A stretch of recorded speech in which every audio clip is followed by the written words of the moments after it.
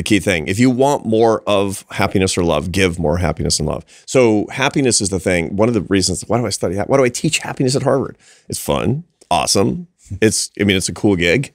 Why do I write about it in the Atlantic? It's the best. The reason is because I want more happiness. How do I get more happiness? I teach it. Hmm. That's how you do it. And it's actually there's a whole brain process to this. This is really important. If you want to understand something in your in your in your the the big meaty part of your brain that's the most human part called the prefrontal cortex, the big part of your mm-hmm. brain behind your forehead. You, you actually have to think about what you're doing and explain it to other people. Mm. Then you will own it forever. I kept, you know, I kept, I'd read about happiness and I'm really interested in happiness, but I wasn't happy until I taught it. this is the secret. And that made the biggest difference. Big difference. Wow. That's it. All right, the giveaway today again, it's MAPS Symmetry because we're in launch week. Okay, it's a brand new Maps program, a lot of demand, a lot of people excited, but you can win MAPS Symmetry for free. You just got to do this: leave a comment below in the first 24 hours that we drop this episode, subscribe to this channel, turn on notifications. If we like your comment, we'll notify you, and you'll get free access to MAPS Symmetry. Now, everyone else, we're launching this brand new program, so it is on sale. Instead of being $177, it's only $97. Plus, we throw in two ebooks that I wrote. The first one is the muscle building secrets of isometrics. The second one is reverse dieting 101. So you get those ebooks for free for getting MAPS Symmetry for the low price of $97. Of course, everything comes with a 30 day money back guarantee. One more thing this launch ends the 17th. After that, everything goes up to retail price. So if you're interested, go to mapssymmetry.com and then use the code SYM50 for the discount and the giveaways. All right, here comes the show. Arthur, Hey, always great to have you on. I'm in person. Uh, yeah. it. I just Welcome to our it. studio. Literally I'm one of so my favorite happy. people in the world. Um, now, I, I want you to real quick kind of explain what a social scientist is and, and what that's about, because as we get into this, I want people to understand kind of your background a little bit and how you know the stuff you do. Social science, well, it's a broad category of everything from psychology to economics. And what it studies is, studies is human behavior. The idea of what people do and trying to understand it using scientific, mostly statistical tools and, and, and experiments on human subjects. So it's the same, more or less the same toolkit as if you were a natural scientist, but you're studying the humans, which is hard because you know the, the the natural world is highly complicated. Humans are complex, meaning that you kind of know what they want, but you don't know what they're gonna do. Hmm. So it's a hmm. tricky business for sure. But that's but my my laboratory is, you know, the airplane. It's conversations. It's you know human interactions, and that's that's what I'm most interested in because love and happiness. That's what we all want. Yeah, you're, you're my favorite happiness expert for sure.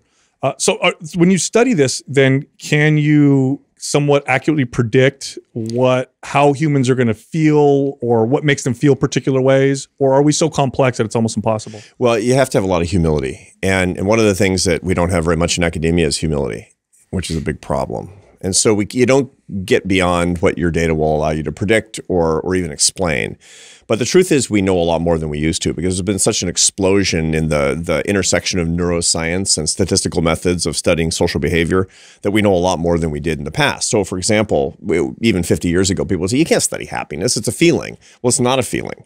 Happiness is not a feeling anymore than your Thanksgiving dinner is the smell of the turkey, hmm. which is just evidence that there's something good going on in the kitchen. The Thanksgiving dinner is actually protein, carbohydrates, and fat. Or if you're not, if you're a little bit more sentimental, it's you know the turkey and the stuffing and the vegetables and that you're going to eat with a bunch of people that you love. And so you can actually study happiness much more like you know we would study nutrition if we've been in the past and which is a science you can take a scientific approach to it but you don't want to get beyond the range of your headlights you don't want to start saying things are absolutely settled as if it were the laws of gravity. So there's a lot we don't know. Why does academia lack humility? academia lacks humility because we have a tendency to, the, to to puff up our own egos and to say since I know all this stuff I must know everything. And I'm talking to people who know less and they're expecting me to know the answers. And nobody wants to go to a big expert in any field and have them go I don't know. Yeah.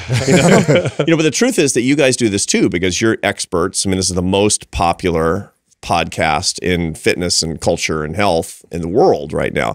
And so anybody who is listening to this, they're going to be like, well, these guys, they know everything about fitness. But there's lots of stuff you don't know about fitness. True. Saying you don't know is a hard thing for human beings to do. This is, you know, lesson one of social science. People don't like to say, I don't know. yeah you know what's interesting about that as trainers uh, it took me a couple years to realize that if i said i don't know i actually got more respect from my clients Yeah. and they were more likely to um, take my advice when i did know So, and that's the irony. At first, I was afraid of saying I don't know, and then afterwards, I was like, I was happy to say it, and because Yeah. people, It was easy real. for me. Yeah. I really didn't know, so it was. no, it's true. But the people who what the don't- hell am I doing here?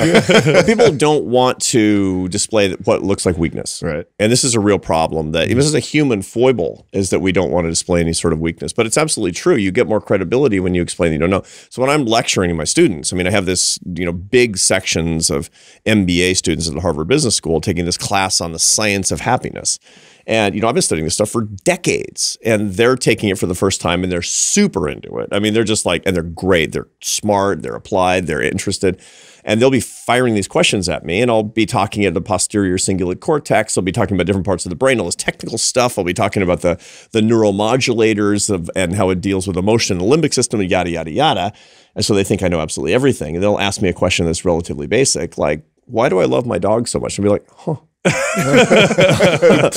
I, I, you know, and I, I don't, I, I'll, I'll get back to you. but they actually have respect more when the somebody who's mastered the field, or at least arguably has more mastery over the field than they do, says, "I don't know," because we don't know everything, because we can't know everything. Is the bottom mm. line. Mm. So, as somebody that studies human behavior, the last couple years must have been very interesting for you because it's been somewhat unprecedented in in my lifetime for sure. I've never experienced anything like that before. Right. And the just the pressures and the changes and the, the stresses.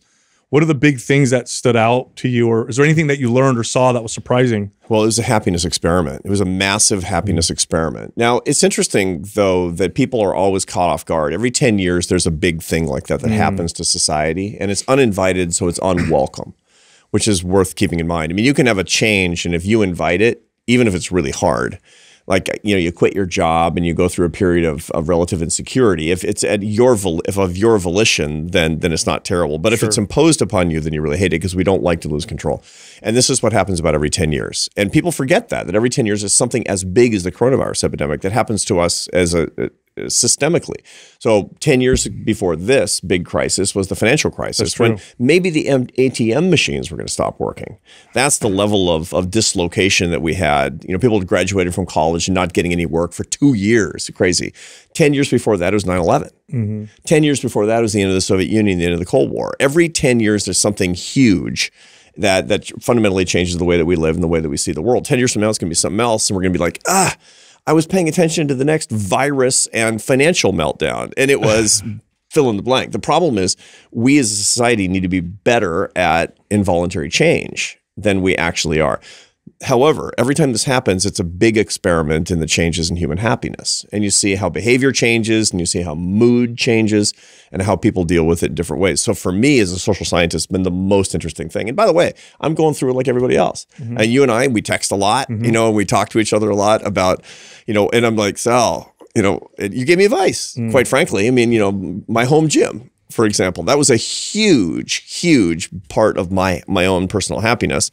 And so I wound up doing research on why it is that, for example, resistance training is critically important in times of relative inactivity for inducing the neuromodulators in the brain that will help you to deal with problems of loneliness and seclusion and isolation, mm-hmm. for example. So e- even those types of things were a learning experience for me. Would you say that fear or control are the biggest deterrents towards your pursuit of happiness? So fear is a huge one. And the reason for this is that fear is the opposite of love. Love is the secret to happiness. As a matter of fact, there's a at Harvard we have a study called the Harvard Study of Adult Development, which is an 84 year longitudinal study of the same people, starting in the late 1930s. It was Harvard graduates, um, among them JFK, Ben Bradlee, the publisher of the Washington Post. Mm. These pr- pretty famous guys, and they mixed it with people who had not gone to Harvard because it's not exactly diverse. You know, all white up cl- upper class guys went to Harvard, but then people who didn't go to college, and then their spouses and their descendants. So it's become demographically very diverse. And we looked at what they did over the course of their lives, and there's a bunch of things. You can find seven big patterns for things that they did voluntarily that led them to being happy and well when they got older, when they were old. But the number one by far, and they sum up the whole study, is that happiness is love. Full stop. So therefore, you want to know not just to have more love in your life, but what is the, the greatest antagonistic force in the universe against love? And the answer is its cognitive opposite, which is fear. People often think that hatred is the opposite of love. Mm-mm.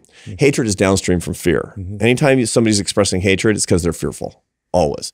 Fear is uh, is actually takes up more brain tissue to process than any other basic emotion. Interesting. I didn't yeah, know that. and the reason is because it keeps you alive. yeah. So this is the same sense. thing. Without makes fear, you're dead. You're dead hundreds of thousands of years ago. You're like, ah, it's a beautiful day. I found some berries on a bush. and I think life is really great. And there's a saber-tooth tiger sneaking up behind you. A t- twig snaps, and you're like, it's just a twig. And you're his lunch. So how do we balance those two then? If if it obviously serves us Yes. for survival sure. reasons, but then it also can cripple us because it's the opposite of love. How do you? Well, you need fear to be sure, but you need to actually have it not be maladapted, particularly to modern circumstances. The way that fear is supposed to be processed in the human brain is that it's episodic and intense. The problem that we have in modern society is it's not episodic, it's chronic and mild. True. And the way this works, it- when when fear is activated, for example, you're walking across, we're in San Jose, and you're walking across the street, minding your own business, beautiful day. It's always a beautiful day here. Somebody runs a red light, and is, a car is coming straight toward you. That's processed by the visual cortex of your brain without you being conscious of it.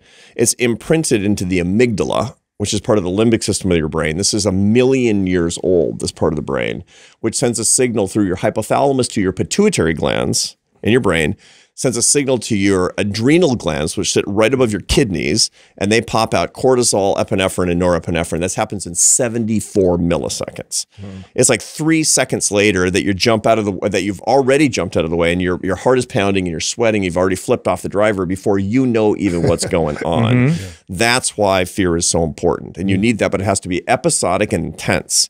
The way that we use it now is you you know open up social media and your chest starts to tighten Yeah. up, and you know somebody's going to trash me, and I'm going to get canceled, or you know whatever it is that people are really freaked out about. That's just a little drip of stress hormones, drip, drip, drip, drip, mm-hmm. drip, and that's bad. So how do you deal with that? That's modern life. And the, the way that you deal with that is that you don't just you you can you know mindfulness meditation and everybody should listen to Mind Pump and learn and get in really good shape. I mean, there's all kinds of things that we should do. But fundamentally, the way for you to deal with your fear is more love. You go to the cognitive opposite. This is the key thing. Don't deal with it automatically. I mean, you should deal with it directly as well, but go to its opposite and surround the fear with love. You need more love in your life. You need more romantic love. You need more family love. You need more real friendships. Deal friendships are not the same. Hmm. And you need, so you need faith. You need love of the divine. You need love of your friends. You need love of your family. And you need romantic love. So give me an, an actionable thing that I can do. So I open up my social media instantly at the, like you said, the closing of the chest, and I'm getting frustrated and fearful because of everything that I'm seeing. Uh, what's an actionable thing I can do? That Obviously, shut it off. That's Right. the first thing. But then I want to pursue love. What does that look like? Text Katrina, I love you. Ah, Seriously. no, you're right. Seriously, because that what that will do is that will actually stimulate Force your you brain. You're, I mean, you're, you've got four negative basic emotions that are automatic. They're fear, disgust, anger, and sadness, and three automatic positive emotions that happen to you automatically, which are joy, interest, and love.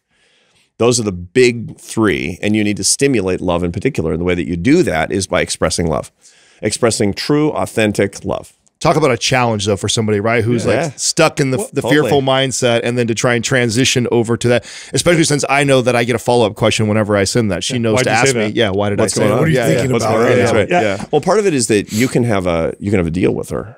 That when I'm when I'm feeling stressed, when I'm feeling when there's trouble, I'm I'm going to reach out to you and just tell you what's really important to me, which is that you're written on my heart. My love, you're written on my heart. Love that. Wow. Yeah. Yeah, you know, I feel like sometimes I take for granted that you have to purposefully place yourself in love and seek it, and not just seek it, but give it. Almost like um, I I just I I take for granted that it just happens. Like, oh yeah, love just happens. It's not something I have to actually work towards and seek out. But the way you talk about it is to make a conscious effort Yeah. towards it. give it.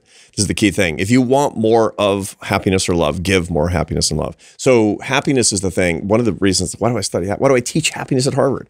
It's fun, awesome. It's I mean it's a cool gig. Why do I write about it in the Atlantic? It's the best. The reason is because I want more happiness. How do I get more happiness? I teach it. Hmm. That's how you do it. And it's actually there's a whole brain process to this. This is really important. If you want to understand something in your in your in your the the big meaty part of your brain that's the most human part called the prefrontal cortex, the big part of your brain behind your forehead. You, you actually have to think about what you're doing and explain it to other people. Then you will own it forever. I kept, you know, I kept, I'd read about happiness and I'm really interested in happiness, but I wasn't happy until I taught it. this is the secret. And that made the biggest difference. Big difference. Wow. That's it. Uh, why are we seeing? Because we have, I mean, objectively speaking, life is better in terms of uh, safety and dangers and Right. food and material things and entertainment, all that stuff. Uh, but I keep reading statistics about um, people are more depressed and more anxious, especially kids, especially adolescents and teenagers. Do we do we have any ideas as to why kids are experiencing this more? I mean, I have two teenage kids, and Right. I, I I think about this a lot. Yeah, so Justin's question is fear. It's Mm-hmm. fear. Fear is the problem. We're in a fear-based polarity in our culture, and there's a lot of reasons for this. I mean, there's a lot of ex- there.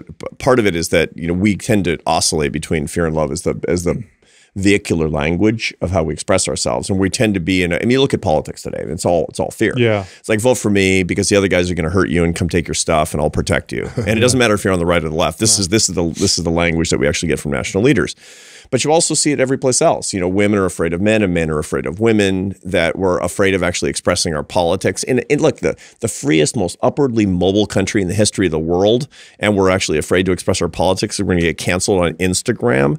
I mean, and this is a fear based polarity that we have in our culture today, which is hugely problematic. We have, as parents, we overprotect our kids. Um, on social media, we actually are exposed to the criticisms of complete strangers in mass numbers. And the result of this is this intense social fear that's filtered itself down to the way that we conduct ourselves. So you find that the people are about 30% less likely to say they're in love than they did in the 1980s when they were in their 20s. Yeah, yeah. So kids in their 20s today, kids, young people in their 20s today are 30 percentage point percentage points less likely to say they're in love than I was when I was in my 20s, which is in the 1980s. It's unbelievable. You never see data like this. This is, this is catastrophic.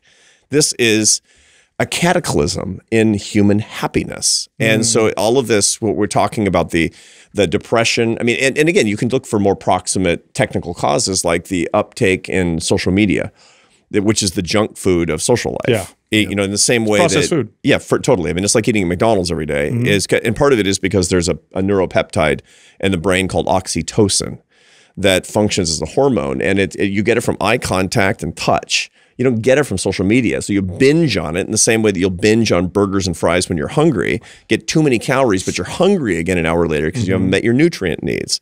Same thing is true for for social media, and all of this leads to loneliness, leads to depression, and it's all in this brew of fear that we see as a society. Yeah, when it with social media, I mean, from a fitness perspective, the thing that I notice a lot mm. with with body image issues is they got worse because, and I'd love your input on this, mm. That you see all these perfect bodies and your brain just unconsciously compares you to these people, and you have this bias, like, oh, everybody looks like that. When no, guys reality, like me are does. comparing ourselves to you. Is the problem? Oh, you know? come on. You- don't say that. I, got, I, I know how ripped you are, but but it, but it, it makes you you without being conscious about. it, You end up comparing yourself, and you end up thinking, "My God, everybody looks like this, and I look, you know, normal or whatever." Right. And I feel like it does that with um, news, with you know, scary things. So you read on social media, and that's what obviously gets popular. So as a kid, you're like, "Oh my God, everything sucks. There's all this scary stuff. I can't do anything about it." I- am I going? Am I kind of heading down the right path? No, Is that's that- right. Is that Okay. the, the comparison sets are too big for sure, and this is one of the problems with social media. Um, no, it's the, the the the lack of approval from other people, the criticism from complete strangers for sure. But then there's the social comparison issue, Hmm. which is a completely different issue, but it's a really deleterious one, not, nonetheless. Social comparison that you know the. Teddy Roosevelt, the president of the United States, called social comparison the thief of joy. He was kind of a good social scientist. Um, he understood humans pretty well. He's one of my favorite presidents quote. to Yeah, read about, sure. by the way. Yeah, yeah, no, he's a really interesting guy. Yeah. He's a really int- and highly entertaining too. But he and he call, and, and it really is the thief of joy. You know, when you compare yourself to other people, there's nothing good can come of that. Mm-hmm. I mean, we do that. The, the only way to do that is to surround yourself with people that you know in person and whom you admire. Mm. Then it's a really good thing to do because then you want to become more virtuous. You want to become more admirable. You want to actually take on people's good qualities. So one of the things that I've done actually pursuant to this research is I surround myself with people I admire, like you. It's like I I I I'm going to surround myself with people who have virtue, not you know somebody who's got just like better abs. That's that's not virtue per se. It's it's like good. It's fine. You know, it's just like having having better abs, like having more money. Although, as you will point out, there's more people with a million dollars than have have you know, visible abs in America today, which is a pretty interesting statistic, I have to say, because it wasn't that long ago when it was the reverse because we didn't we had no money and no food. Everybody had abs. That's right. They got abs. It's like talking. That's called, called being malnourished. And so, but but that's the key thing: is you surround yourself with people with whom you want to have your own comparisons because you want to elevate yourself morally in terms of virtue. Mm-hmm. But everything else is bad. Everything else is bad for your happiness. Loneliness. It's ba- bad for your health. It's bad for your social life. It creates fear, and it leads into this cycle of problems that we're talking about. You, you spoke about overprotecting our kids, and Yeah. that that uh, resonates with me because I have that tendency. I, I have that tendency to want to just, Right. you know, cover them up and make sure nothing ever happens. And uh, I want to ask you a personal question. I know one of your sons is a Marine, Right. and he's out there. I mean, in the front, in Yeah. danger. How did you handle that personally with that? Because I'm I'm sure part of you wanted to be like, no, don't put yourself in danger. Like, how did that how did that work out? Well, part of it is just is is knowing yourself, and so confronting this quite consciously. The problem with fear is when you don't know you're being motivated by fear. Okay. Then you'll act according to it. When you when you make something conscious, you can manage it. So here's the deal: when something is limbic, that part of your brain that acts automatically with your your basic emotions, we talked about that a minute ago, it will manage you. If you actually become conscious of it, you can manage it hmm. because you're literally processing it in a different part of your brain. That's called metacognition. When you're afraid, you have to sit down and say to yourself, Sal is feeling fear. Why is Sal feeling fear right now? Hmm. Oh, that. Huh. That's interesting. Sal always feels fear under those circumstances, and you become you become the boss. you become the boss of your fear. So this is the same thing with almost anything. If you basically have this visceral kind of primeval caveman fear because something might hurt your might conceivably hurt your child, then you'll do often the wrong thing. Hmm. You know, the truth is you shouldn't overprotect your kids. It's bad for them. And my parents didn't overprotect me. On the contrary, you know, I had this paper route when I was 11 years old Yeah. in this working class neighborhood in like in Seattle, where I grew up in this in this lower middle class neighborhood in Seattle. It was the same neighborhood that Ted Bundy had been marauding, through, right? Oh, that- a few years earlier, for sure. But there was this like craze in the 1970s about you know, Serial killers, serial right? killers, Yeah. serial killers, right? And my mom was like, it was 4:30 in the morning. I had this paper route. And my mom says, you know, do you think we should let Arthur be walking around at 4:30 in the morning in the neighborhood with, you know, vicious dogs and serial killers about delivering papers? And my dad, you know, he wanted to he wanted to protect my interest because I always had like twenty dollar bills hanging out of my pockets, and and, and, and so I was a pretty entrepreneurial kid. And my dad, so he had a uh, he had a PhD in biostatistics, and so he tried this scientific approach on my mom. He says, well, you know, I've been studying the data. And uh, I don't think Arthur fits the core demographic profile of a serial killer. they don't want to kill him. Huh? He's fine. They won't be going after him. She's like, uh, and, and she says, "What?" She doesn't understand the things he's saying. And finally, he says he he he resorts to pure, you know, emotion. He says, "Well, even the perverts have to sleep sometime."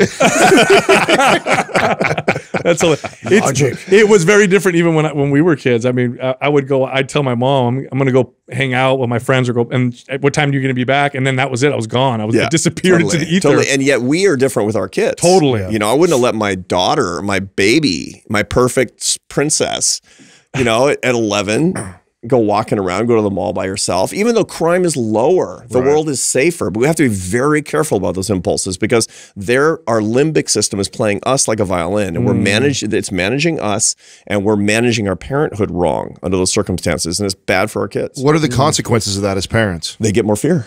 They get more. Our kids become fearful the because the love. parents say, "You're exactly right." You're you're motivating them to behave in, in a way that's not consistent with the love that you want to motivate them as people, so they can be happy and they can lift other people up.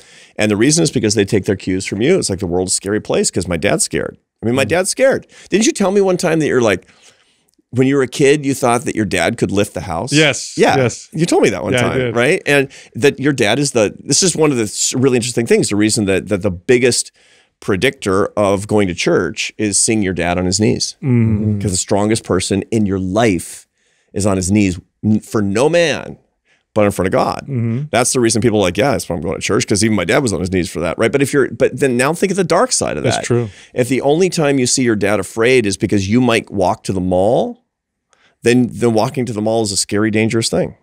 Wow, that makes a lot of sense. Speaking of my dad, you know, your your book uh, resonated with me because I my dad retired uh, a bit early uh, because he's arthritis up and down his spine. I mean, he's been working hard labor since he was nine years old, and I, he went through like a two year like depression period. Like I remember he he he stopped working, and that's all he did for most of his life. Right. And after that, he was like, and I remember my mom telling me, she's like, you got to get your dad out of the house because he's mopped the floor five times and he's he's already rebuilt the backyard and he's, he's, he's the whole He's backyard. driving her crazy. yeah, because he did like a million. Pro- he didn't know what to do, and for like a couple years, it was really tough for him. So I, I'd like to to go into your book a little bit, Yeah. uh, strength to strength, and I'd like to start with the impetus. What motivated you to write this book? Because there's this great story of of kind of what got you to go down this path. Yeah. So when I was about 50 years old, um, I realized that I needed to make some changes. I mean, my life was good. I'm, I'm, a, I'm a very lucky guy. I was the CEO of a think tank in Washington, D.C. So for, you know, people who listen to Mind Pump who have a, a life and don't know what a think tank is, uh, which is a normal thing to not know. Uh, a think tank is a research institution, like a university without students. And so I, it's a big research nonprofit in, in, in Washington, D.C., dedicated to helping politicians and policymakers make better decisions.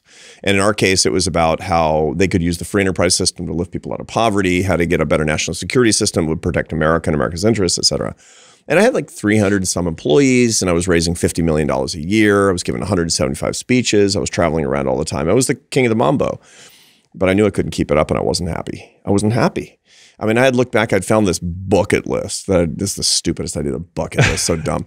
And when I was, because all it does is it lowers your satisfaction. Because every year you look at the things you haven't done, you feel like a loser. Mm. and it's like that can motivate me. I don't know. Anyway, so I'm 50. I'm looking at my bucket list when I was 40. I'd done everything on the bucket list, and I wasn't happy. Oh no. I'm like, huh. So I'm thinking, what am I going to do? What am I going to do? And one night I'm sitting on an airplane from from here, from California to DC, and it was like 11 o'clock at night, and I hear this couple talking behind me on the airplane, and and I can tell they're old by the sound of their voices. I tell it's a man and a woman. I'm assuming they're married, and the guy is confessing. The man is confessing to the woman that he might as well be dead, and she's trying to console him oh, it's not true that nobody remembers you. And he's like, ah, I'm a has been. I'm washed up. Nobody even take my calls anymore. And I'm thinking it's like a, it's like that Nicholson movie about Schmidt, you know, where he's he gets retired and gets a watch, and they're throwing all his files away, and he.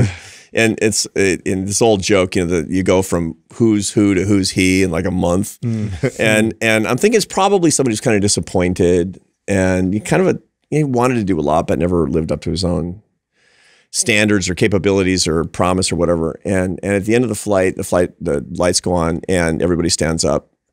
And I turn around, it's one of the most famous men in the world. Hmm. This is one of the most famous, successful men in the world who, for decades ago, had these big achievements. Like not controversial, he's a hero. And you know, as we were leaving the plane, the the pilot said, you know, recognizes him because everybody would said, "Sir, you've been my hero since I was a little boy." And at that point, he's beaming with hmm. pride. But I heard him. I heard his. I heard what was the dialogue going inside his head. Nobody hears this because inside. I'm thought, what am I going to do? I mean, I'm like, I'm not going to be that guy. I'm not a hero. I'm not famous. I mean, it's but but but what am I going to be saying to my long suffering wife, Esther, at 85? Am I going to be like, "Ah, I might as well be dead. Nobody remembers me. Nothing's good anymore. Or can I make some changes? What can I do for my happiness 401k plan? What can I do? What are the investments that I can make? Because I'm on the wrong track. I was lonely. I was working really super hard. I was not becoming more effective in my life. I was not cultivating the relationships that I need. I was not a very good husband um, because I was on the road all the time. And I'm thinking, you know, I, I, what? I mean, what's the deal? Who are the happy? What are the secrets of the happy people? And it turns out half the people get happier after 70 all the way to the end, and half the people get unhappier after 70 all the way to the end. And the people who get unhappier after 70 are the strivers, So the successful, the ones who had success early in life. Wow. They're the ones who tend to be unhappier because they're disappointed with the contrast. See, look, if you don't do anything with your life, you won't know when it's over. Mm, it's the same. If you do a lot, what goes up must come down. And so, what do you do so that you can be you guys, 40 years old, killing it, and at 70 still be happy? Hmm. What can you do? And that's what this book is. It's your happiness 401k plan. It's my happiness. it's my happiness 401k plan. It's me search, not research. So what what are some other things that you found in common with those two groups that obviously at that point a fork in the road they go opposite directions obviously it was not uh, directly connected to how much money or success they had there's other things Yeah. what are the common things between those two It's groups? not money and success at all, it turns out. So and and we all want money and success, but the question is what do you do with the money and success? And if the money and success are an opportunity for you to invest in the things that really matter, your faith, your family life, your friendship, work that truly serves other people, then those things like money and power and pleasure and fame, then they're fine, but only as instrumental things to get to the stuff that really, really matters. And that's what happy people have in common. The second big point about the happiest people as they get older is that they recognize that their strengths change. And that's what the guy on the plane didn't figure out. He had this, you know, incredible life early on. He was he was the king. And and he he wanted to keep that forever. This is the thing. You want to you want to stay with this. They, they, there's this Hindu theory of life, the balance of life. And you know, when you're in your zone for work and success, it's called grihastha. It's a word in Sanskrit for the house. You know, the, you're, you're you know you're the the, the manager, the the dad. You know, you've got all this worldly success. But around age 50, according to this Hindu philosophy, you've got to move to a, a, a period called vanaprastha, which means technically to retire into the forest, not literally. but what it means is basically to start stepping back from these things, to start taking stock, to start investing in your relationships, to start teaching other people. This is entirely consistent with all of the best neuroscience research that shows that you get this curve of intelligence early on, and that's called fluid intelligence, which you get better and better and better at focusing, at being an innovator, at being an entrepreneur, but working indefatigably for these goals. And, and you're really good at that through your 20s and 30s. And the more you do, the better you get. But it peaks and you start to decline in that, in that energy and that focus in your 40s and it's it's, it's just falling like a rock in your 50s. Mm. But you get another curve behind it called your crystallized intelligence curve. That's increasing through your 40s and 50s and 60s and stays high in your 70s and 80s. That's your wisdom curve. Mm. That's your ability to teach. That's your ability to share knowledge, to to build up other people, to create teams. And if you actually move from your, you know, high horsepower curve to your wisdom curve, th then the world is yours. But if you're trying to stay on that superstar curve, the first one through, it'll, it'll it'll be like you know chaining yourself to a you know a roller coaster that's going down and down and down and down and down and down and down. It doesn't come back up again. Wow. And that's so what's going on. Explain wisdom then. It, it, so there's obviously knowledge is a part of it, right. knowing mm-hmm. information. Right. But what makes someone? What's the difference between someone who knows stuff and someone who's wise? Wisdom is knowing how to use what you know. Okay. So so knowledge is being able to answer questions. Wisdom is knowing which questions are worth asking and answering. Mm. It's judgment is what it comes down to. It also has a whole lot of generosity in it. Wisdom to be wise, to have this crystallized intelligence is to say, here's the knowledge that's important. Here's how to use it and here's how I can serve other people with it is the key thing. And you become other focused in a way that's deeply satisfying. That second intelligence curve, that crystallized intelligence curve, you can write it all the way into your life and get happier and happier and happier. And that's what the happiest people have. Wow. When do you know you achieve this crystallized intelligence? Is this all part of that whole 10,000 uh, kind of a, a, journey where you're getting an accumulation of hours and um, you've been able to now see and predict patterns as, as they come? Yeah. What you find is that it gets a little bit harder to focus single mindedly on a particular task in your 40s, but it gets easier for you to rec- to do the pattern recognition. Mm, and it gets easier for, yeah, it gets easier and easier. What you guys are going to find as this decade progresses cuz you're in your I'm 15 years older than you guys. Mm-hmm. And as this decade progresses, what you're going to see naturally because of the structure of your brain is that it's going to get easier and easier for you to explain highly complex concepts in in this show in this or whatever the show becomes because it's it's a morphing thing. It's mm -hmm. this is a communication vehicle. It's not a podcast. Mm -hmm. It's not a YouTube show. It's right. the way that and you're going to find that you're more and more and more professors. That you guys are teachers more and more. You're the whole thing is going to go from you know how you saw at the very beginning to build a company to actually sharing knowledge and and and you'll get better and better at it is the bottom line. Now there's a problem that we have in our culture which that valorizes youth Yes. Right. And totally. especially we're sitting here in Silicon Valley. And you know the problem is that this is uh, the industries, tech industry, for example, has revolutionized our country, revolutionized our world, and yet it's not very trusted or respected. And the reason is because it's all fluid intelligence, no crystallized intelligence. Yes. You know, we don't have, you need more 70 year olds in tech companies is the bottom line. They're going to have made every mistake in the book. And they're going to mm -hmm. say, you guys, we're making a, we're making a product that hurts people. You guys, these are anti-competitive practices yeah, knuckleheads don't do bro culture. It's exploitative and it's and it's mm -hmm. undignified, and it's going to get us into a whole lot of trouble. I mean, older people know these things, so they have this mm -hmm. wisdom that they have. But when it's all kids, you got a problem. Yeah, you know it's interesting. You're talking about fluid and going to crystalline. You know, Justin uh, was a very competitive football player in high mm. school, college. Um, talks about it. Uh, it, you know, I hear him talking. Very happy it, yeah. when he talks about it. Brings him a lot of joy. Mm-hmm. Just started coaching high school football team. Mm-hmm. Obviously, very busy guy.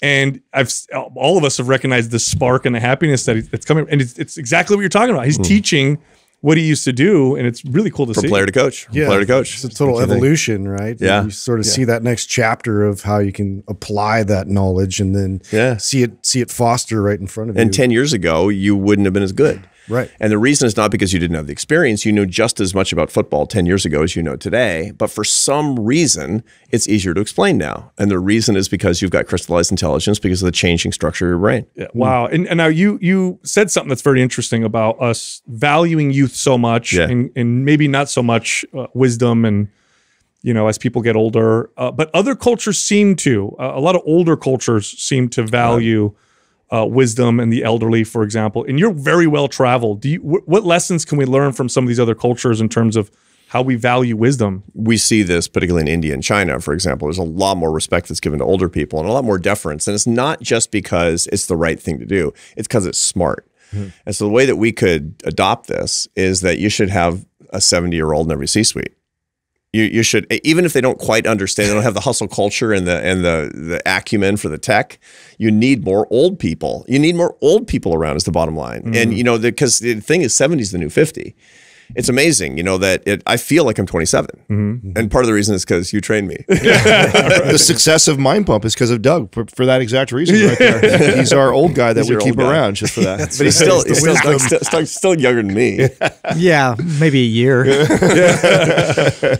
and it's really important. I mean, it's really important that we actually the learn that that's the sort of the technical lesson of these Eastern cultures, but there's a moral lesson to it too. Look, life is not that interesting when you don't have any diversity. Mm-hmm. You know, when everybody's the same, when we're all like clones, it's so boring, right? and we know that enough to know that it's important for men and women to work together, for people of different races and different backgrounds, different mm-hmm. cultures. That's all interesting. It just makes life better, right? Because different perspectives creates more quality. But the single most undervalued part of diversity is age diversity. You know, it's crazy. We and we set up our culture so you're all five year olds in kindergarten and the cohort didn't chunk chunk going I forward. always thought this is so weird because we know this and we yet we still our school structure is still yeah. old. and now we and instead of instead of having our elderly parents with us, we put them in a home, which is a huge mistake because you can get. I mean, I understand it's a hassle having your grumpy dad living, you know, in uh, in downstairs or whatever. but there's so much to that. There's so much intergenerational wisdom and interest that we can actually get from that if we were to value it differently and understand that that could enrich us in big ways. You know what? You just literally put, you just literally explained what I miss most about personal training. I, I stopped training about a year into Mind Pump. Obviously, this was taken off and, you know, we had to put our, our time and energy into it. And I missed a lot about training people, but you, what I missed the most, and I'm really realizing this now, when you train people, you, I trained people who were 40s, 60s. I had Yeah. clients in their 70s. I had clients that were in tech, others that were entrepreneur. I just a wide variety of people, wide variety of ages, and you meet these people twice a week for years. You know, so you develop a relationship with them, and it was so profound the amount of growth and stuff I learned. And now I'm starting to realize what it was. It was just I was surrounded by lots of very different people and different ages. Right. And you were getting a big mix of different kinds of intelligence. Yes. that was and it went early on when I started training, when I started lifting, and most of my late 30s. And I, you know, I wasn't going to personal trainers. I was just trying to get in shape. And uh, I, what I figured out was I, I put together a little strategy where I thought to myself, well, let's, let's see, what do I want to do with this? I'm not going to, I'm not going to be in a bodybuilding contest. I don't have the genes or the, the, the, you know, the, it, the possibility of doing anything like that. I don't have the, I don't have the, I don't have the goods. what do I want to do? I want to be healthy. I want to feel good, and I want to be able to do. I want to be doing this when I'm 80. So I started going to these old rusty iron gyms where the best. old guys hang out. Right, the guys who are lifting, they're 75 years old and they're lifting. Right, they're doing like deadlifts at 75. I mean, they're not afraid of that because they have they have good form. They know what they're doing. And I would go up to the old guys, and the old guys will always give you advice. yeah. You yell at the old guys and say, "How old are you?" They're like 76. I said, "Dang, I mean, you're deadlifting twice your weight." And you know, and can you can you give me a couple of pointers? And of course, they'll give you a couple of pointers. So almost everything I learned in my late 30s, I learned from people in their 60s and 70s, which was pure crystallized intelligence. Because when I was in my late when I'm in my late 70s, I want to I want to be going to the gym every day. Still, Speaking of wisdom, um, how important is it for your high achievers out there to consider having and applying a spiritual practice? it's hugely important to walk a transcendental path. And so it's so about half of your uh, happiness is genetic. Um, it comes. It's I mean it, your baseline happiness levels and your baseline mood levels actually comes from your genetics. If you have gloomy parents, you'll have a gloomy baseline. Is the bottom line, or, or, or vice versa. So your mother literally did make you unhappy. bottom line, and we're happy. You know, it's like, like we say in my business, your results may vary. You know, and uh, um, about a quarter of your happiness is circumstantial. You know, things, good things going on, bad things going on in your life that are bringing you up and down. But those things never last. Everybody thinks that circumstances are everything. The thing that really matters the last quarter, which is your habits. And the four big happiness habits, there's a lot of little things, you know, like what makes me happier, resistance training or cardio. Those are little things and they, they're, they're not completely trivial, but the biggies are faith, family, friendship, and work. Faith, family, friends, and work. And work has to two characteristics. It has to be where you earn your success, which is why the free enterprise system is so incredibly valuable as an engine for letting us live up to our potential and serving other people, people who really, really need you. But the first one, faith, doesn't necessarily mean my Catholic faith, although I recommend it to everybody. I love it. But what you find in the data is walking a transcendental path, whether it's traditionally religious or spiritual or just philosophical. You need something that gives you a better metaphysical perspective on your life. And the reason for this is if you don't, it's just tedious and boring. You know, it's like left to your own devices, you will compulsively think my job, my money, my car, mm-hmm. my vacation, my money, me, me, my house, my friends, me, mm-hmm. me, me. Mm-hmm. And it's just tedious. It's like watching the same episode of the same sitcom every single day over and over and over again. And you know, whether you're reading the Stoics or whether you're going to Roman Catholic Mass or whether you're doing a, a Eastern meditation practice, something has got to daily give you relief from you is the bottom line. And so I one of the things that I recommend to everybody is to start walking the, a spiritual path as soon as they possibly can. Mm. Is that more challenging? Now, I mean, you've been teaching for a long time. Do yeah. you see that become more more challenging or or, or younger people easier as you get older, right? It's harder it's easier as you get older, for sure. Yeah, it's, it's actually that's these days. It yeah, seems. it's one of the things in the book that I write about is that people tend to after forty. That's when their interest in this starts to rise, hmm. and part of the reason is because, frankly, their fluid intelligence is in decline, so their focus on their on the here and now, the focus on the tedious is in decline. What fluid intelligence will make you do is it'll allow you to focus intensely on something boring like being a lawyer. Yeah. right. And it's like, it's like, I, it, and again, you know, I got, I, I got no, not to cast aspersions on lawyers. I'm glad that they're really, really good lawyers. But I mean, it's like when you're 60, you're just not going to focus on the, on the minutia of a legal brief in the same way that you will and can when you're 30. Your mm-hmm. brain is built for that. And so what happens after 40, people are like, man, I need some relief. I need something. I need to zoom out. I need perspective on this. this is one of the reasons they start getting much, much more interested in this. However, um, I find that my students every year are more interested in the metaphysical. Really? Yeah, yeah. Do you think hmm. is that is that do you think there's a correlation between that and like their their own the youth being more anxious? Yes. Oh, so yes, it has. It goes. It once again, it ties right back to what we were talking about 15 minutes ago, which is fear. Is there and and the fear, which is antagonistic to love. Mm. Remember that they're 30 percentage points less likely to be in love. They're less likely to be married, less likely to cohabitate. They're having less sex. People in their 20s are having fundamentally less sex were than you were when you were in your 20s. Wow. Yeah, yeah. And and so what you and, and and again, you know, all, all of your your morals around these things notwithstanding, people just don't love each other as much. Mm-hmm. They have more fear, they have less love, and they're looking for some relief in their life and so that's one of the reasons that they're they're asking spiritual questions you know uh, talking about fear again i want to circle back because we kind of just briefly went through the whole covid thing and i just think that's still so top of mind for so many people and i also think that we haven't seen all the the consequences of what we all just right. went through.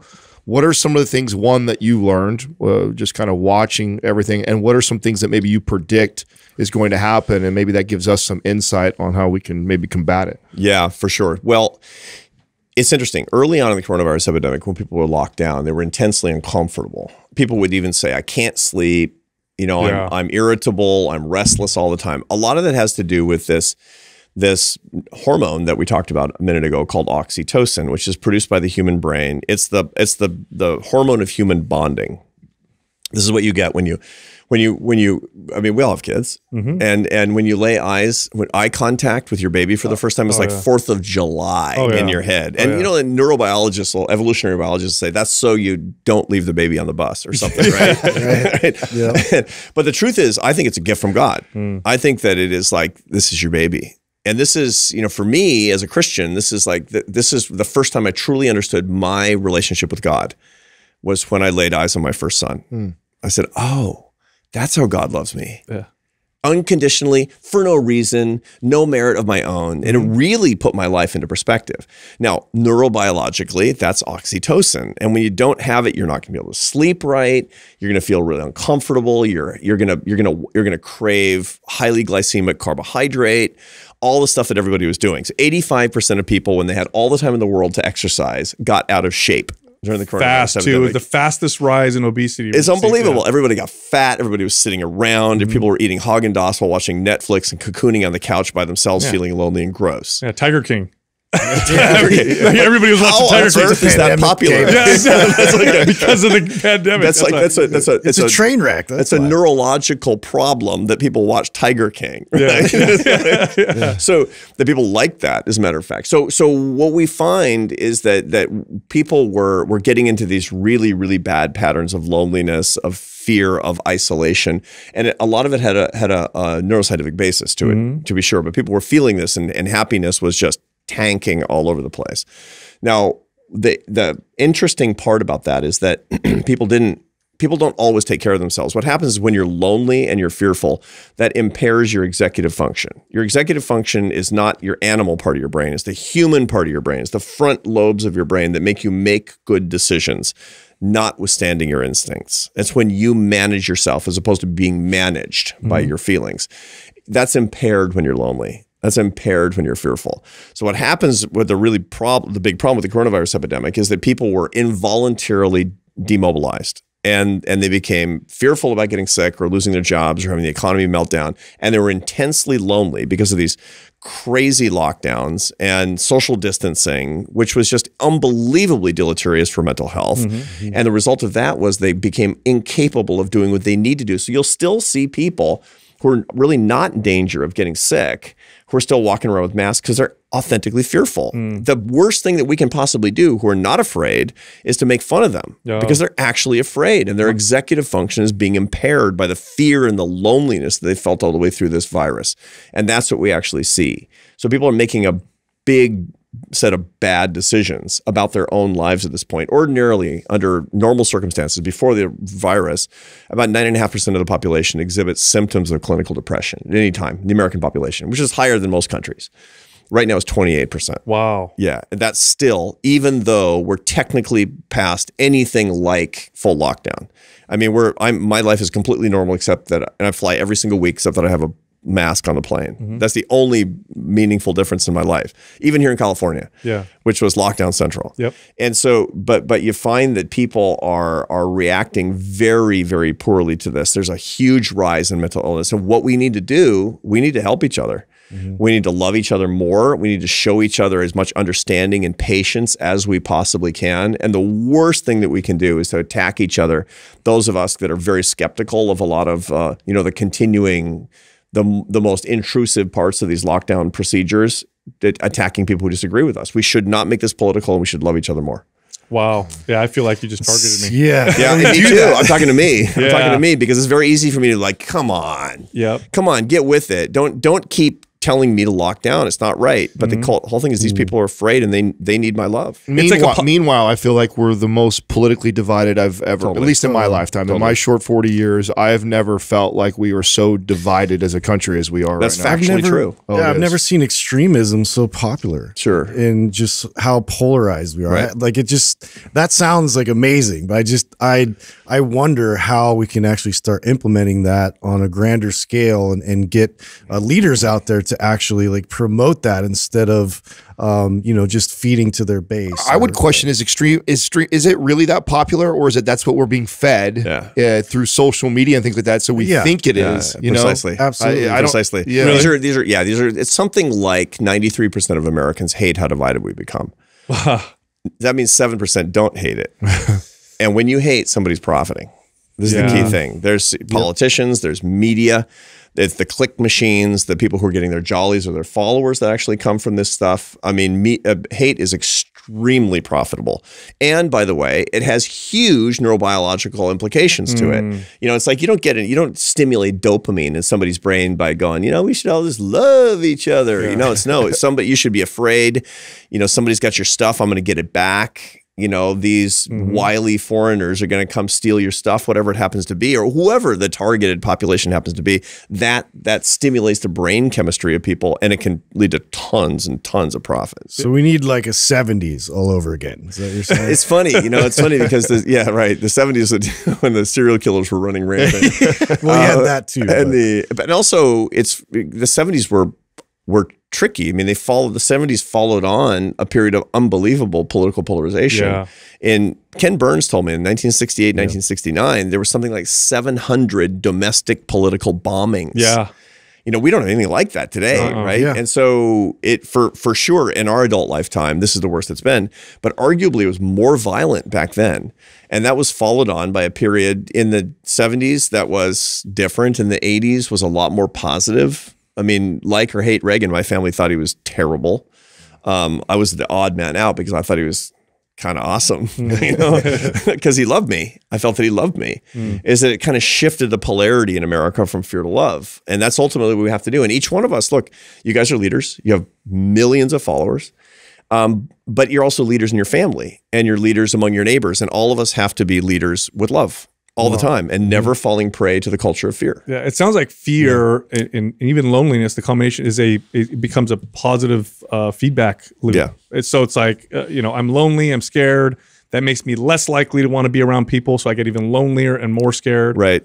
Okay. That's exactly right. And it's it, it, all it is is a all, all it is is a self fulfilling prophecy of fear leads to fear, um, and then you get more evidence why that's the case, and then you got to break out of it. You got to clip the cycle someplace, and each one of us can clip the cycle in our own way. Everybody listening to us is a leader.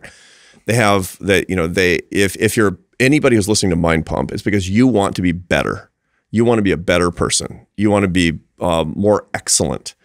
And anybody who wants to be more excellent is a leader in in some part of their life. So show that leadership by showing more love is the bottom line, and you will be part of the solution to the problem. Excellent. Arthur, you uh, did you by chance read uh, Ray Dalio's latest book? Yeah. Oh, I really would love to hear your take on like what your thoughts are and uh, where are we at in the cycle right now and stuff. I know that I know you like economics too, so Yeah. I'm just curious to what you think. It's hard. It's you know the the th- predictions on that are notoriously impossible. right. and that's the reason for that is that we're we're it's a random walk you know or, or as we say in, in the economics business i'm actually an economist it's a stochastic process. You know and if you were able to predict it it would be it would be neutralized before it actually even happened.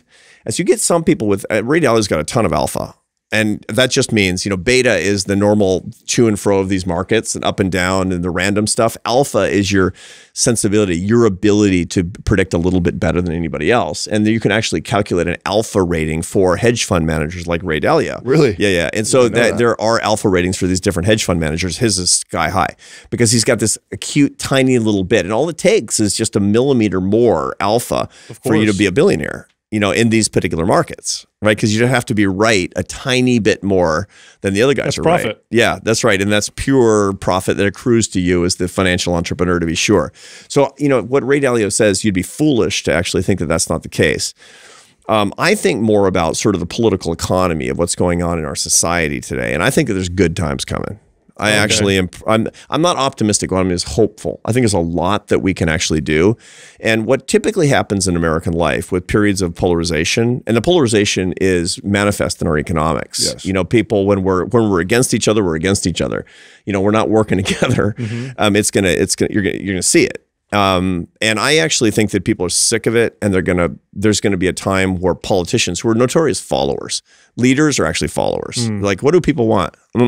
Oh yeah, that people want fear. Okay, I'll do fear. Yeah. When they when they actually figure out, when some politicians actually figure out that there's a, that people want more love, they people want more positivity, we're going to actually start seeing it from, it. from national leaders. I've heard you say um, that people uh, often realize they're lonelier than they thought they were. Yeah. And there's a bit of an epidemic of loneliness. Yeah. So t- talk about that a little So bit. So that's the key thing about when your executive function is impaired.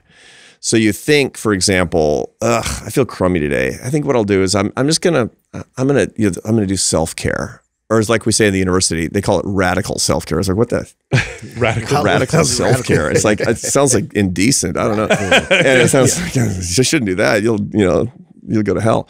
Anyway, the uh, uh, self care is, or they'll think about it as just kind of babying myself. And and what do you do when you baby yourself? You stay home. Yeah. You you know you get a cuddly blanket. You lie down on the couch. You eat the stuff that you want. You maybe have a bottle of wine. You watch. You binge something on Netflix. Exactly the wrong thing to do when you're Wow. silly. Exactly. And so what I teach my hmm. students is called the opposite signal strategy, OSS. The opposite signal strategy is when you are feeling lonely, do the opposite of what you want to do hmm. Wow. is the key. And that means get out, get fresh air, do some exercise, call a friend, see people. These are the things that you should be doing when you actually feel like cocooning. Almost that's- always the case. And now, so this makes perfect sense why love is the opposite of, of fear because uh, you have to be vulnerable to do that. Like if I feel shitty, the last thing I want to do is call a friend and tell them, "Hey, what's up, man? Oh yeah, I'm feeling like shit right now. Really? I thought everything was going great. Uh, I Yeah. don't know, you know." Yeah. So you have to be very vulnerable in order to do that. for sure. You basically, you know, when you're when you're feeling fearful, you bring fear to others. That's the wrong thing to do. When you're feeling fearful, you need more love. For you to get more love, you need to give more love. That's an opposite signal strategy. When you're feeling crummy and afraid and lonely and sad and you don't know, quite know why, sweetheart, I just want you to know I just love you so much. Yeah, I like that. Yeah. That's great. You shared a, a, a thought experiment that I, I don't want to mess up, so please take it from me as soon as I you, you trigger it for you and you know what I'm talking about. Where I think you said, you know, five, imagine five years from now and you are the happiest you could possibly be. Yeah. You know, what are like your five things that you value and where are they at? And then, and then you ask, I guess, like, you know, how, how does that align with you now or what are you doing right now about Yeah. that? Explain that. Like, Yeah, yeah. So there's a, a bunch of experiments. this is on, it sounds technical, but it's actually really simple, on what they call extrinsic versus intrinsic rewards. The extrinsic rewards are money, power, pleasure, and fame. Hmm. Those are the things that you get from the outside world. And that's what your brain, your animal brain says that's what you want. It'll make you permanently happy. You get like, a boat, man, I'll finally be happy. Mm-hmm. Like, no, you won't. you won't. I got the data. You won't. Right? and the same thing with with and especially fame. You'd be fame a is the- terrible person to go shopping with. I know, I know, I know, I know. dude, I want this. Like, no, Like, dude, dude, you don't want that. It's, it's just going to be that. It's, it's going to be a hassle. But and fame is the only one of those things that you can only ever be happy in spite of, which is really interesting. Wow, so is yeah, yeah, yeah. Your brain says, hmm. and you get all these this this rush of brain chemistry saying if you actually get more followers, you get more clicks, it's going to give you actual happiness, and it won't. What it's going to just complicate your life. Yes. And and so happy fame is a ton of research on this. Is the only thing you will be happy in spite of it if you have good perspective and you can use it for virtue and good like you guys are doing. But it's you'll never be happy. Like I'm actually happy because we've got a quarter million YouTube subscribers mm-hmm, right now. Mm-hmm. And because of the fame per se. I mean, you actually have more reach, which is really important. Okay. So what you find is that that those are extrinsic rewards. Intrinsic rewards are relationship focused. Intrinsic rewards Family, come from yeah, faith, family, friends, and work where you serve. Love, love, love, and more love is the bottom line. Mm-hmm. And when you take the population, so you take college people graduating from college, and you say five years from now, what do you want that would actually make you happy? Half of them will say extrinsic stuff, and half of them will say intrinsic stuff. Hmm. And then if you go and look at them, you'll find that the ones who are intrinsically motivated, I want to be married, for example, I want to have a good relationship with my friends, I want to have a good relationship with my family, etc. These are the ones who are way happier. I mean, way happier, and they have fewer physical maladies, and they're less stressed out. They have fewer anx- cases of anxiety, less clinical depression, on and on and on, less stomach aches, less anger, everything. Okay, so now I go to my students and I say, imagine yourself in five years, because based on this research, you're happy. You know what that feels like. It's- happiness is not the feeling, but you know what it feels like. You know what the turkey smells like, right? Okay. Anybody's like, what that reference? Go back to the beginning of the episode. Um, Little callback. That's right. Um, so, so imagine yourself five years. You're happy. Why are you happy? They'll have done the research, my students will, but we all kind of know in our heart of hearts. Put them in order. The five reasons that you're happy in order, in order of importance. Okay, now you've got them in order. You're looking at them now. Say, come back to the present. Which one of those things are you most actively managing? It's always four and five. It's always four and five. I love that because it even shook me up a little bit because I felt like I had a good grasp. Oh, these are my five. But then when I ordered them and I went, oh, wow, you know, am I really spending the most time though working towards hmm. one and two? If I say that's one and two, I'm probably spending more time on four and five. Yeah, it's going to be your family. It's going to be your friendship. It's going to be your faith, for example, which is a classic, and and goals around these things. And then and then four and five is like my career and my money. And and those are the easiest things for you to manage because the world says manage those things and tells you how to do it. And mm. you, you know, if you go to the Harvard Business School, that's what they're teaching you to manage is your money and your mm-hmm. career. Mm-hmm. They're not saying and and except for my class, which is leadership and happiness, which is how to manage your love life, how to manage your relationships in the same way that you would think about it, in the same organized way that you would think about it in the case of your career and your money. So start getting your priorities in order is the basic. Is like, what is your it doesn't mean you don't manage your career and your money. It's great that you're you're you're working hard. Fantastic. But pay as much attention to the management of your marriage and the management of your friendships and the management of your spiritual walk as you are to, you know, mind pump in the bank account. And that's what it comes down to. That's look, that's super hard for me. Yeah, again, Mm-hmm. it brings me back, and I, I- I think how um, we take that for granted because we think, oh, for work and money, I have to work every day. I have to work towards Mm-hmm. it and focus on it. Oh, love, family, stuff that just happens. Totally. But you got to put effort and work into it just the same way, right? Yeah, and there's this thing that we often do, especially men, and they'll be like, "Yeah, the reason I'm working so hard, honey, I'm sorry, I know you're lonely. The reason I'm working so hard is because I'm doing it for you because I love you so much. I'm such a martyr. Stop calling us out right now, Arthur. it's absolutely classic. Yes, You know, I, I interviewed a guy for the book, and he's like, "Yeah, my wife, ugh, you know." she doesn't get it. She doesn't get it. I mean, she she's always complaining about the fact that I'm never home, but she wants the nice things that the money will buy. It's like she wants those things because she's lonely. She's lonely. She wants you.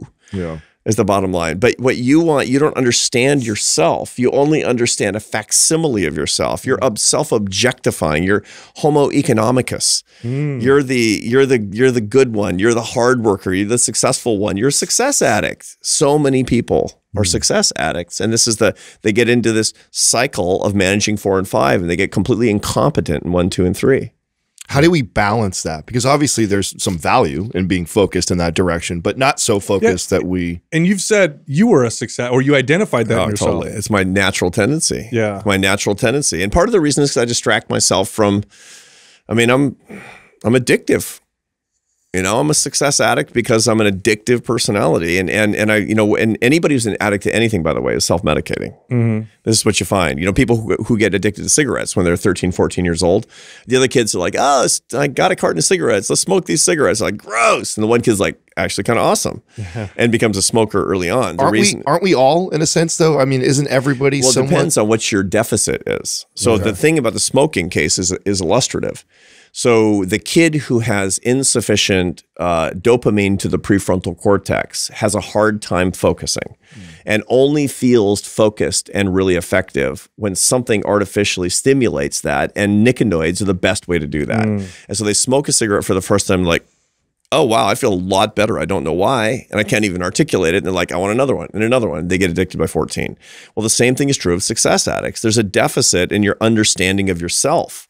You know, you don't feel like a full person. You don't feel like the person that you want to be. You don't. You can't endogenously produce your happiness in in the right way. And so the result is you're looking for outside validation. You're looking for extrinsic validation of you. It's like the the outside version of Sal and what you need to work on is the the interior version of Sal. That's and that's the way to combat it is number one is knowledge. Right. And when I say Sal, I mean Arthur, by the way. It's like, who's Arthur? Uh, he's that guy that people talk about. You know, he's that guy who's got that job. He's that guy that somebody wrote that thing about, whatever happens to be. No, no, no, no. That's not that's not the way to do it. The way to do it is to understand the problem and to do the work to actually build the person that you are. And that has to be built on love and relationships. Wow. Yeah, you're, you're speaking to Totally. you're speaking to totally. Me right I mean, you guys are. I mean, you guys are that one. successful and ambitious, and there's mm-hmm. every there's tons and tons of people watching this who want to be you. But we're look, we all have the same problems Yeah. because we're all just walking this path in the same way. Oh boy, that's challenging. That's how I feel like that's what I meant by that. Like, does- isn't everybody somewhere like that? I feel like everybody has something that it just manifests itself different in everybody's life. you yeah, know? for sure. So we all have different needs. We all have different, and and some people are naturally better at this than others. I mean, I know some guys who are just like they get it. And they get it, right? But our culture valorizes Yes. the most incomplete people. Mm. Yes. You know, because you and when you meet really famous people, they're often extremely screwed up. Yeah. I oh. always say Oh, this. yeah. When it took them to be so spectacular in this thing, deficits elsewhere. means they're most likely out of balance. They they other- got famous for a reason. yeah. They did what it took to get famous. It's incredibly hard work. I mean, I've and I've interviewed a lot of famous people for my research, and they'll say staying famous is unbelievably hard work and extremely boring, mm. and it's stressful. You know, it's like to be a, a famous actor is ninety nine percent boredom and one percent terror.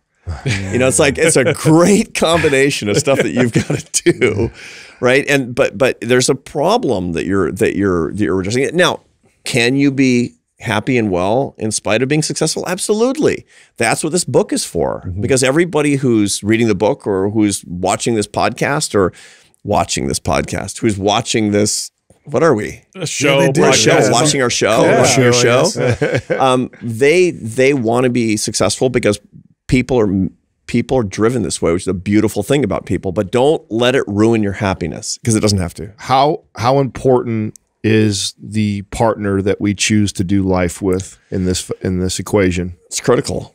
It's really critical. You know, people, especially the the most unfortunate, are the people who forego love for worldly success. That is insanity. That is just as stepping over hundred dollar bills to get to nickels. Yeah. That is just nutty. And people do it all the time. It's like I, I talk to students, you know, business school students. Like I don't have time for love. It's like well, you don't have you don't have time for. I mean, you can't you can't forego this. That's like saying I don't have time to to breathe or yeah. air. Ultimately, Or you don't want to be happy. Yeah. Or you or the, they've get part of it is they get the formula all wrong. Yeah. They actually think that they will find lasting satisfaction in the rewards of the world, and that will substitute for the, what they really want. In other words, four and five will suddenly grow in importance because they'll even do the exercise. It's like, yeah, one, two, three, yeah, but I'm still going to focus on four and five yeah. Well, because four and five are going to become one and two. It's just so countercultural, though. Yeah. Like we're we're just so inundated with uh, what success is. Yeah. It means how hard you work, and it means Yeah. like achieving this monetary goal and and status and fame, and Yeah. you know, to everything you're saying is so it, it it's so different than that. So Yeah. how do people get into that mindset? I mean, obviously your book's an amazing, Yeah. you know, piece to that puzzle, but uh, I just feel like there's just not enough of that type of language out there. Yeah. Now, most people have a, I mean, a lot of people have a really good sense of this and, and do pretty well. So I'm talking to strivers, and you have a disproportionate striver audience. Sure. Again, people who want to be excellent will judge their own excellence based on the standards of the outside world. This is the key, mm. right? How do I know I'm excellent? I don't know. I'm gonna look on Instagram. Yeah. I want to have Sal's abs. Right. That's excellent, right? And they'll they'll look at these standards all? of excellence, Yeah. and nobody's like, you know how to be excellent? I want to have as much love as Sal has in his marriage, Right. Because that's mm-hmm. not Instagram worthy, No. right? It's the it's the trivial stuff by by sort of cosmic terms that we put up, and so people interpret that as the most important thing in their life. Go for it. Do the good things. Be excellent. Absolutely.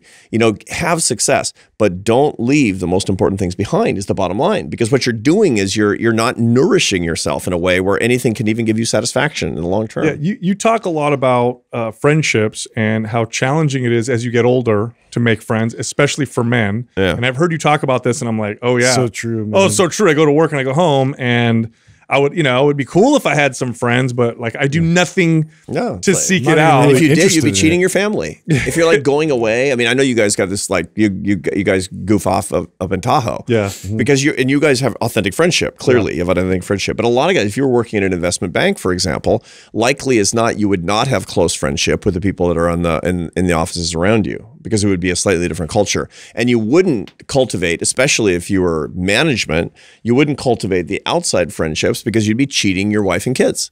Hmm. Because it's like, honey, yeah, I'm going to go away with the boys. It's like, no, you're not. Yeah.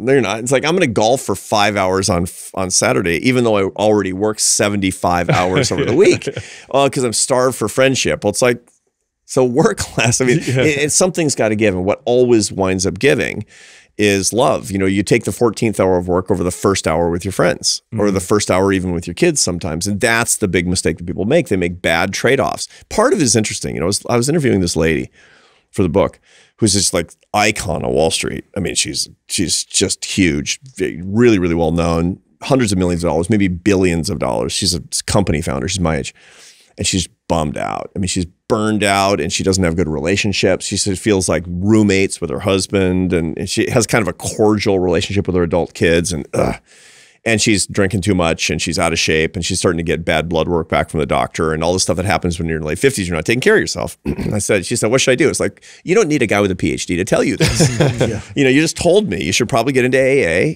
you should probably um, you, you should you start walking a spiritual path. You should start going away with your husband.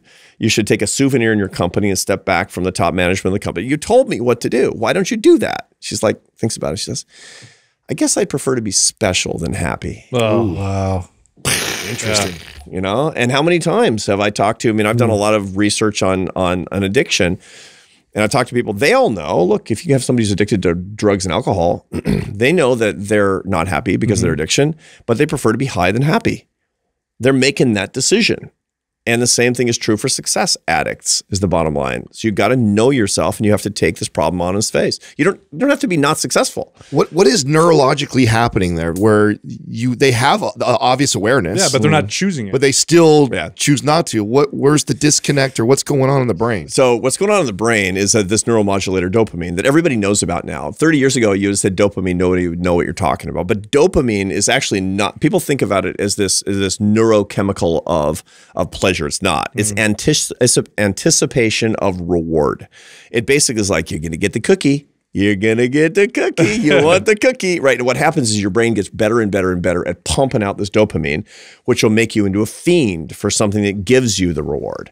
Now, what's the reward? The reward is your your crack, whatever it happens to be, and everybody's mm. got their reward. You know, some people it's gambling, and some people it's sex, and some people it's alcohol, and some people it's success. Mm-hmm. That's the cookie. And part of that, usually these tracks are laid down neurologically when we're kids. And so if your parents are like, you're so smart. You're such a hard worker. You're so good. You're smarter than the other kids. You're always going to succeed. And the kid's like, oh, that's where I get my rewards. Pat on the head, hit the lever, get the success, get the promotion, get the grades, get, and they turn into these success machines where they get their dopamine. And our brains are incredibly good at, at, becoming attuned to producing this dopamine on cue for our particular reward. Success success addicts are really dopamine addicts and that's how they get their dopamine is the bottom line. And you can even get away with get away from it. This is one of the reasons that that if you're if you're an alcohol abuser, you could you should probably never drink alcohol again for the rest of your life because it's like carving your initials into a tree.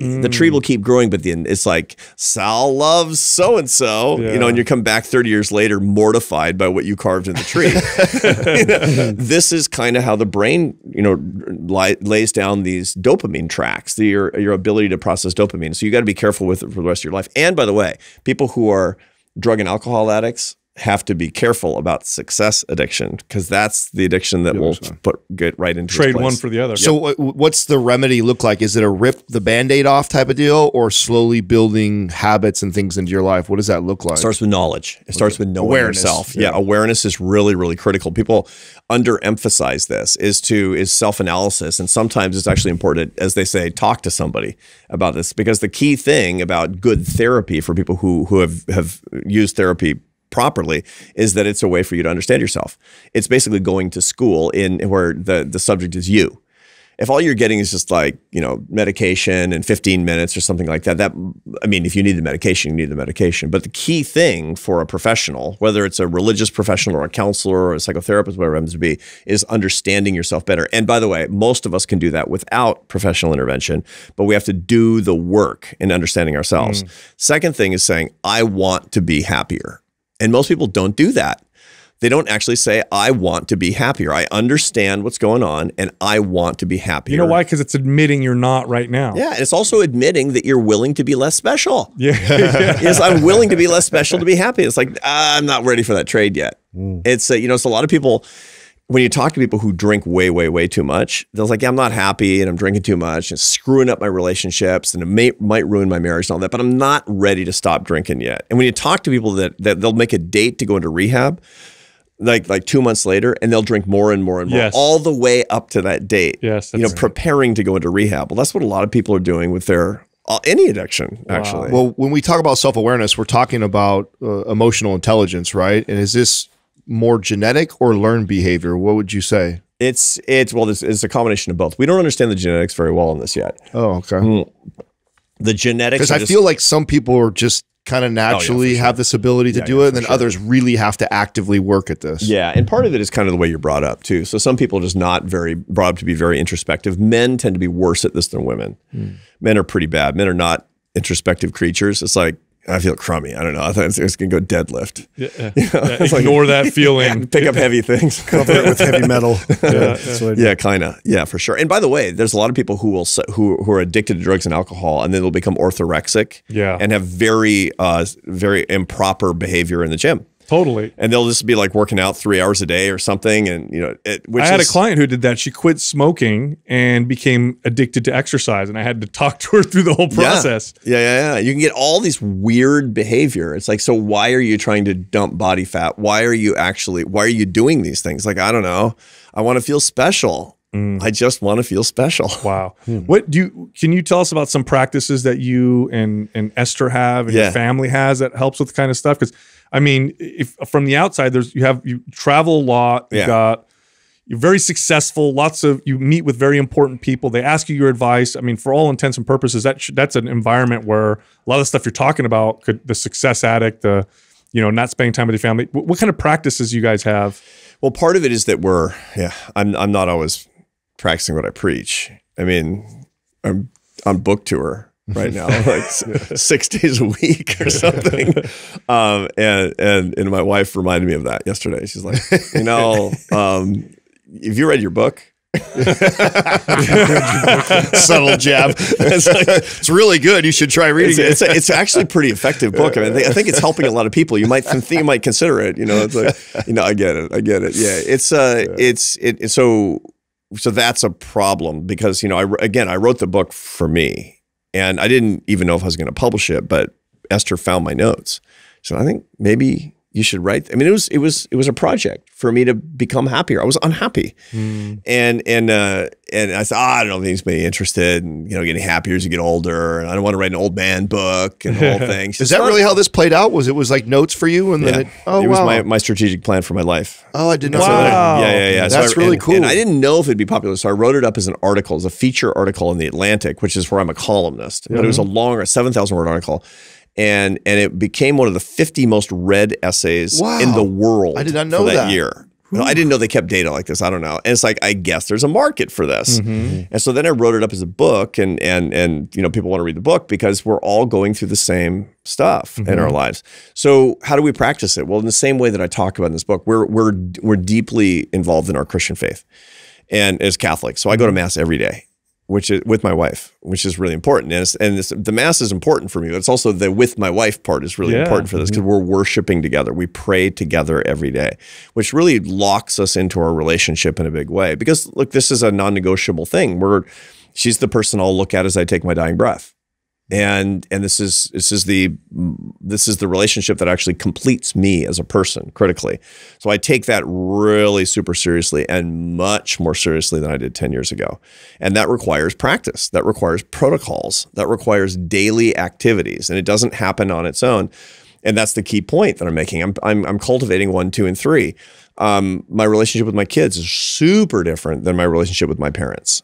I mean, I had a pretty distant relationship with my parents. And and you know, I moved to Europe when I was in my mid twenties to marry my wife. You know, and I was playing in an orchestra in Barcelona, hmm. and you know, doing my thing as a classical musician for a long time. And I thought I gotta get to know my parents better. I mean, my dad was a my dad was a scientist. My mom was a was an artist, and she was creative, and they were interesting people. And yeah, I really got to I get to know them. And then they died. Oh, You know, they died young. My dad died at youngish. My dad died at 66. My mom was was already cognitively impaired by my age, and so she was kind of gone. And um, and I thought to my, I was, it was a real source of regret for me for a long time. And I thought, okay, okay, regret's fine. What am I going to learn from it? Dan Pink has a new book about regret. It's a really good book. It's worth reading about how you can learn from it and how you can make it into a source of transcendence. How your regret is good for you. You should not tattoo no regrets on your body, right?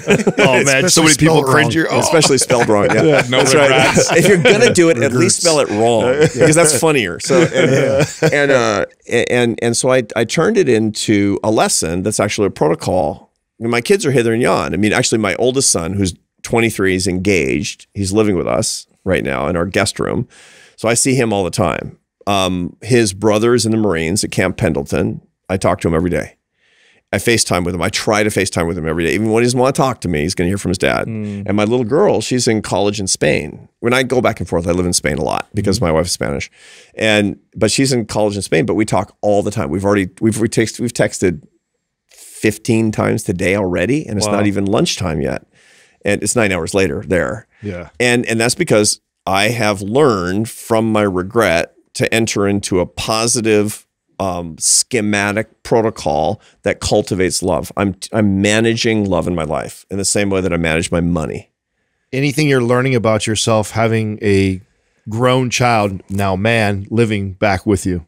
Yeah, big messy chick back in the nest. it's uh, that boy is messy. He does not know how to put his shoes away. It's like he knows how to work changes. hard, and he's a he's a, he's a great kid. He's he's fantastic. He's mirrors back me to me, and it's funny because your kid, each one of you. How many kids do you have? I only have one. You have one, Yeah. and you got three and a half. Yeah. you got three and a half, Yeah, and you have two, right?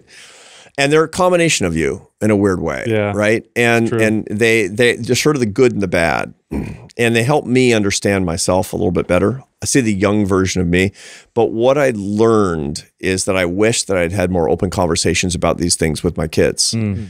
And so I guess it's probably weird to be the child of a social scientist. Because you know, my it's like my, my little girl. She's like, think you're analyzing their behavior. yeah, if and I'm everything. bothering my little girl, it's just like, Daddy, Daddy, you're not oxygenating my ventral striatum. your heart has to melt a little bit. though. like, oh, "Oh, she God." understands me. You know, that just means that I'm not column. giving her good feelings. You know? it, but you know, the the key is actually um, um, with them is, is seeing yourself in them, and then being very, very clear about what the best life is. It's to say, you know, what's what would what do I want for you, and not my middle son, the Marine, he had tough had tough time in school. He wasn't a motivated student. And I was spending all of my time haranguing him about that. And the reason is because I wanted him to have a good life, right? But then I realized that he could interpret that as what I care about the most. I think that's a mistake. So I started saying, you know what I want for you? I want you to be honest and I want you to be compassionate and I want you to be faithful. That's what I want. Those are the three things. Everything else is gravy. I don't care if you live in my basement. I don't, I mean, I do, but, but the- that wouldn't be optimal. But that's the key thing that I've actually learned from that. And I've learned as much from my kids um, as I've learned from any book that I've ever read. What about if I were to ask you if you were to look at each each child, um, because I'm sure each one was a different experience. Um, what do you think that you did best with raising each individual one? Well, that's a good question. Or I know what I did worst, which is the opposite side of the same coin, right? Right, right. Um, I was trying to stay positive. yeah, no, no, but it's actually because you can take positive lessons from even negative. Yeah, um, I just I love yeah. I love talking to somebody with your experience, your wisdom, um, further ahead than I am as far as fatherhood. So Mm-hmm. I can be thinking about these things as I'm raising my son and potentially another one in the Yeah. future. So Yeah, you know what I did is I cultivated a lot of the most what I think are the most um, what I think are are are he- really healthy interests in my first son, who has a lot of the same, who loves a lot of the same things that I do, a lot of the same books, a lot of the same music that I do. Um, no, I mean he's super nerd. He goes to opera. And since he was 12 years old, he's been really into opera, Italian opera, right? Because I'm into opera. I think opera's great. I mean, it's beautiful. And, and we would go to concerts in New York City, and he cultivated those particular interests, which has really, really made him a much happier person as a result of this. My second son is funny because he's he has a lot of the same appetites that I do, but not the same interests. I mean, his main interests are blowing stuff up. He's in the Marines. You know, mm-hmm. he's a he's a combat Marine. He's a you know sniper and a mortarman in the Marine Corps. He's six foot five too, by the way. You've seen, wow. Yeah. I, you've He's seen a a, big picture of him. He's a, and he's super, and he's jacked. he's super. jacked. Yeah. he's two hundred pounds and four point three percent body yeah, fat. Whoa. yeah, yeah. Yeah. A machine. He's a machine. He's a machine. Um, he's not going to be able to maintain that. Uh, that's all I can say. Because let me tell you, when it's 57, it's not hard. This is not easy to, to, to, to stay in shape for sure. But, you know, actually figuring out what is best for him, given the fact that he's got very strong appetites and impulses. And those are the things that I share with him. Hmm. And just being just completely upfront with him, hmm. completely upfront with him. Carlos, you're going to want to do this. Don't do that. Don't do that hmm. and and and and and if he does, not freaking out. You know, here's the key thing I learned actually from my son, who has my appetites. Don't freak out. That's probably the best piece of advice Yeah. for fatherhood. Don't freak out because there's nothing worth freaking out. You'll only things will only get worse, and Right. out, literally everything has a solution What's done is done. and it has a solution. Every problem actually has. If they rob a bank, there's a solution to that. It's not good. Mm. You don't want that for sure, but it's never worth freaking out. And my little girl, it's just pure love. It's just pure love. I mean, I she understands me and she just loves me and I just love her and I'm telling her I love her all the time. And Mm. it's just this abundance of she's she's adopted by the way. So she's I, it, as soon as I got her, I thought, man, we should have gone outside the gene pool earlier.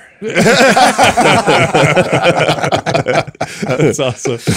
Uh, she's just she's just perfect. Yeah, yeah. You know, you know. great. I, I have to say, it, you're what you're saying is, is, I mean, this is how you are in real life. I know you personally, and your wife and, and you have been so gracious to talk with Jessica and I, and you know, I, I really look up to you and, and how you guys handle things. So, just want the audience to know this, this is very authentic. This Yeah. is not just a dude selling a book. Yeah, well, and, and and I've been a pump head before um, before any of this, before you guys knew me. That's I was wild, I was listening to the podcast and getting all kinds of knowledge about how to get happier and healthier from you guys. I mean, you guys, it's very easy to think, you know, Mind Pump is a fitness podcast. No, it's a happiness podcast. Mm-hmm. And and it's really the the reason that you know, I bet you that people are more interested in the first 45 minutes than the quaz. that's that's actually true. I bet it's true, especially right? after they become. Yeah, And the reason is because you're you're modeling authentic friendship for each other. You're talking about things that have they're fun, but they also have substance.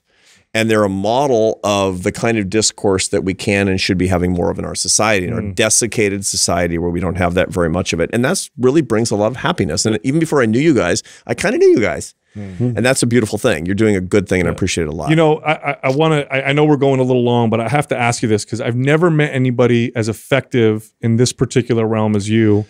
You are so good at talking to people uh, who don't think the same things you do, who don't don't have the same politics, um, but they all like you, and you do a good job of communicating with them. Like, what's the secret to that? And I think we need to learn a little bit of this right now because it's not happening. Everybody's so How do we bridge that distance? yeah, yeah. No, thank you for that. Thank you. That's it's really kind of you. And not everybody likes me. You know, it's uh, I don't know anybody. Don't that they, likes don't they, people. hey, but don't they Let's say if, if that's if everyone did like you, you're not doing you're not doing the right thing, yeah. right? And, So- and there's some people who are just so bound up in ideology Sure. that it becomes a religion and everything's a holy war. And so, you know, I, I I get protested sometimes. You know, I go on to I've been on college Really? campuses. Yeah, I get Hey, to you? college campuses. I You get, get protested. protested? Well, part of it is just because it's such a highly charged ideological environment that you know I'll get the chalk the sidewalk. What do they have? that's a, that's a scary sign of the times Yeah, today. somebody that's get leading with protested. love. I know. it's Yeah, like, I know what what is you're it? like down with the love and happiness That's guy. what I'm I mean, it's, like, saying. it's like it's a good, it's a bad look for protesters. Yes, you know, it it's like for, for that for sure.